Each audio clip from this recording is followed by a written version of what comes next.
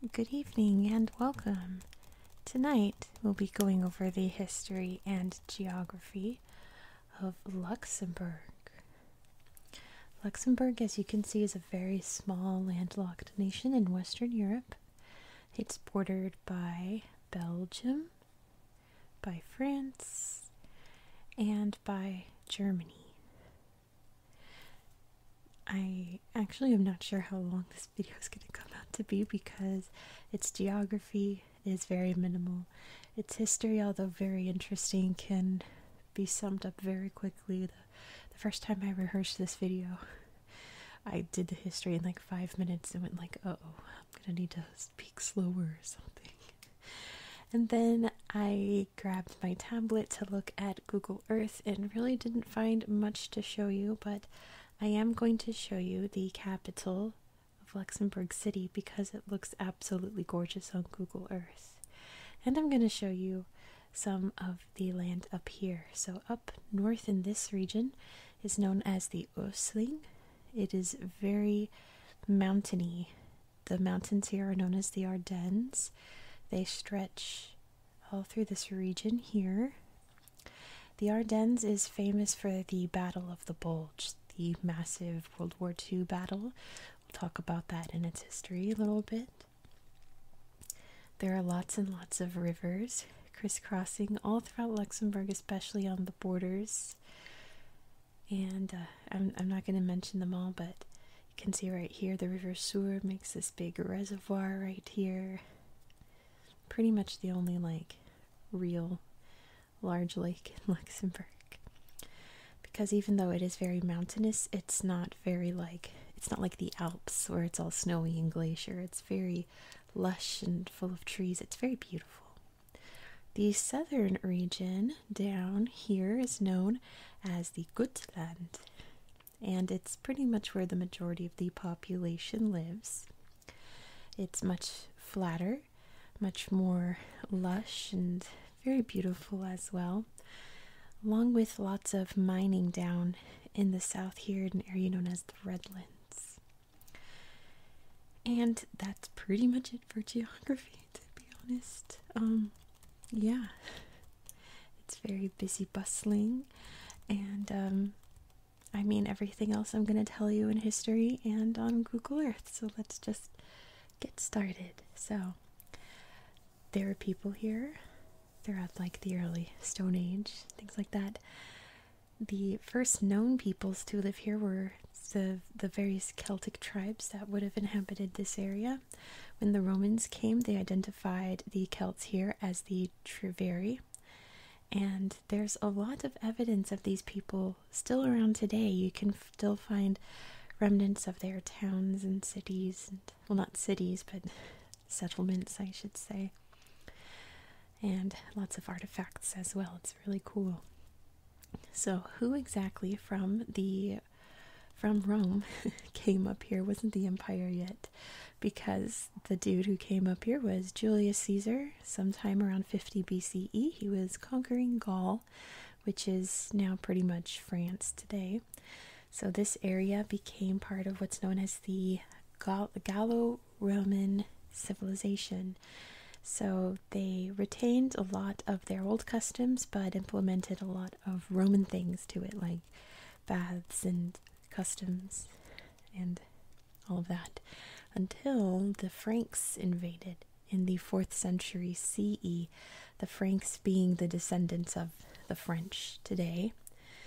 Thanks to Charlemagne, the Carolingian Empire would have control of this area and um, there was a bit of overlap between German speakers and the French speakers.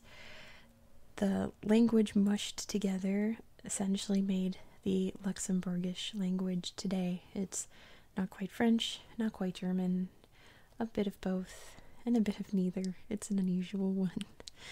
It sounds a little bit like you've got something like in your mouth while you're talking, like a big piece of gum. It's one of those languages. Anyway, Christianity was also introduced when the Franks would come and take over once they converted to Christianity in about um, the 690s. A very famous traveling priest, I believe, named Willibrord, came and spread Christianity throughout the region and built the first abbey. It's very beautiful. He's a religious hero in Luxembourg to this day. So, in 963, this guy named Siegfried found this cool big rock in what's now Luxembourg City on top of this hill and was like, wow, this is the perfect place to build a fort. I could build a big old fort here and defend the land around it and slowly start taking more land because no one's going to stop me because this big rock is so big. And he named that area um, Luxembourg. I've been practicing. It's very hard, but that's how we get the name Luxembourg. And he did just that. He built a big fort that would turn into a castle over time, and they started conquering areas, and nobody could stop them because no one could infiltrate their big fort. Eventually, the area became the County of Luxembourg in 1083, and throughout the years, it would really gain lots of political power, especially as they spread out in all directions to take more land for their county. The royal family, as well, the, the royal family, they were counts, you know, had a lot of political influence. A lot of them became kings, particularly of Bohemia. One of them became Holy Roman Emperor at one point. And they were a very strong, pretty unstoppable clan, I suppose. they uh, had very little hiccups. They had like majority success in their reign of pretty much looks like this area here. But in 1443, they were left with no male heir, and the whole dynasty crumbled, and the area would become absorbed by the sort of like next in line, like the one who would have taken over, but he already had a, a big part of land, so it became part of Burgundy, and then it was known as the Burgundian Netherlands because they had all this too here. So it was absorbed into that, and this area was pretty chaotic politically in that the Habsburgs, the royal family over in Austria, which essentially controlled the Holy Roman Empire, wanted it. They would come and take over in 1482. There would be a lot of struggle between the people here of Luxembourg and the Habsburgs because the Habsburgs wanted to completely absorb it. The the Luxembourgers, as they're known, said no thank you. And there were quite a few uprisings and tiny rebellions Eventually, the Spanish actually came and conquered the Habsburg Netherlands from 1556 to 1714, so it came under Spanish control. The Habsburgs would come and take it back. The French would come and take that. The Habsburgs would take it was a big back and forth. The Luxembourgers were in the middle here, none too pleased about anything going on. They just wanted, you know, their own thing like they used to have, and it was great, and they loved it. The last political invasion at this point in history, hold that thought, was by France in 1793. If you know your French history, it was a pretty chaotic time. There was a, a, a revolution going on. So after Napoleon came to power in France and he did his thing, the powers of Europe came together to figure out what to do with all of the mess all over Europe that Napoleon left behind.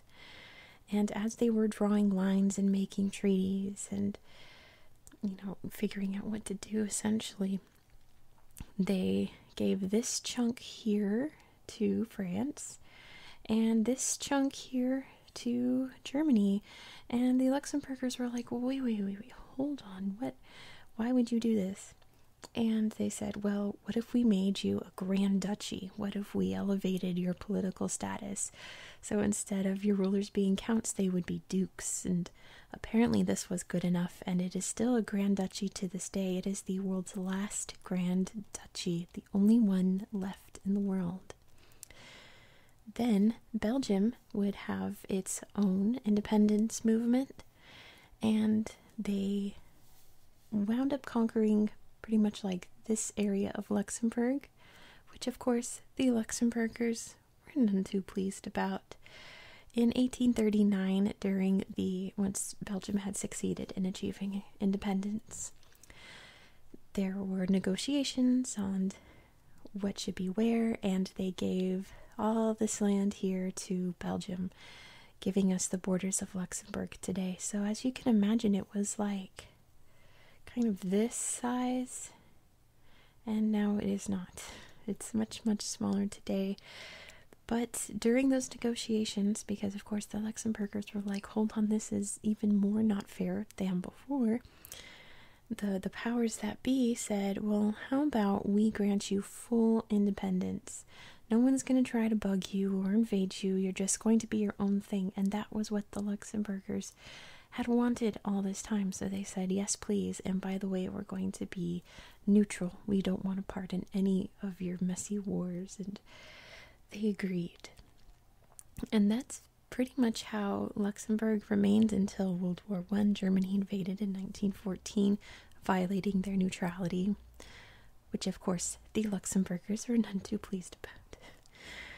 And they would actually invade again in World War II in 1940. It would be a lot more aggressive this time, as you can imagine. And this was when we have the Battle of the Bulge in December 1944 to January 1945. The Allies had come in on Normandy in France. The Germans decided to do one last big push, one last big front to try to stop this invasion from Normandy. They met here and clashed for a long time, and as you can imagine, it was snowy and cold and fierce. But the Allies would win out. It was very hard for the Luxembourgers as well. They were none too pleased about it. So, after the dust settled from World War II, Luxembourg decided that nobody is ever going to invade them ever again, ever. They joined the United Nations, they joined NATO, they joined the European Economic Community, which would eventually become the EU. And not just that, they are one of the EU capitals in Luxembourg City, which I'm going to show you because it's a really neat area of the city. There's a huge, huge EU government section, and it's where the European Court of Justice is located. They're also part of the Eurozone, they use the euro as their currency. So, once World War II was over, Luxembourg's like, okay, we're part of this big international conglomeration of organizations. How are we going to maintain our status in the world? How are we going to show the world that, like, what we're all about? And they said steel production. So they actually had a very successful steel production industry for a couple of decades until it started to falter. In the 1990s, they really got into finances and essentially became a financial hub of banks and a center for corporations to own bank accounts, and the industry boomed. Their economy exploded. I have um, my little trivia book I've been using for trivia nights on my live streams says that Luxembourg has the highest GDP per capita as of 2021. That's how successful that industry has been. The only hiccup was in 2014 with the leak of the the Luxembourg leaks, which exposed just how much of a tax haven this place was, and it was incredibly corrupt. And the Luxembourgers were none too pleased about that, but it was all exposed, and laws have been passed, and hopefully the worst of that is over. And that's essentially where Luxembourg is today. How did I do? All right, I extended my time by about 10 minutes. not bad, not bad. So, that is the history of Luxembourg. Let me go grab my tablet. I'm going to show you what Luxembourg City looks like. It's so, so neat. You know what I forgot to mention in history? was that during that time when Luxembourg was being conquered by the French and the Austrians and the Spanish at that one point, they all built a lot and lot of forts and castles and battlements and walls all over Luxembourg. there's still over a hundred different castles and forts in Luxembourg today. I'm going to show you the the oldest one, of course, the Big Rock, and the remnants of this really neat French wall. I don't want to get lost though, so let me go like this. Boom. Check it out. So up, zoom in. Up here's the big rock, which um, you can really tell it's a big rock from up there. And over here is this super cool French battlement, remnant of an old fort. It has lots of cool tunnels and things inside of it and underneath it. It's, um, as you can tell, it's kind of fallen apart, but uh, it's still a neat place. So here's where we have the rock where the original walls were built. Then if we go over here, we can see this is where the Grand Duke lives. This is his palace right here. So they've always been up on this big old rock. It's known as the Bock. And yeah, it's this really cool old timey settlement. If you play The Sims, it reminds me of Windenburg. it's sort of like that. And uh, yeah, it's a beautiful place. But let's hop to this end of the rock over here. We have a lot more, so you can see lots of ancient remnants of old forts here. And there's an old fort over here too. Like they're just all over the place. It's so cool. And here's an old one up here that's now a history museum. Pretty cool. And then up here's the Modern Art Museum, much more modern building, right? Here's a great city panorama. So you can look out and see the city. Skyline. This this is the big Notre Dame Cathedral, it's known as. Beautiful. So you can look out oh Ukraine. Support for Ukraine. You can look out and see the city skyline. Isn't that neat? Stop. Go back, please. Thank you. Okay. Over here, you can see all of the big, important EU buildings, which looks really cool from this 3D view, doesn't it? All kinds of administrative, important, important things, and lots of cultural things too. There's, um, you know, housing. There's the big sports stadium. We let it load. It's a little blobby. There's this big sports complex all over here. This beautiful, um, like, ooh, it's so blobby. Why isn't it loading? These are all trees dotting this big long road. It's really pretty. Um, it's, it's the Central Park. It's just a big, beautiful place. Another one over there, but that's kind of like out of the zone. There's, you know, more housing. You can kind of see the boulevard there now, now that I'm not so close. And yeah, it's just this huge, big, hilly area where all of the important things happen. From ancient times over here to more modern times over here. An absolutely remarkable city, isn't it? So much history all over the place, and yeah, it's it's just very beautiful place.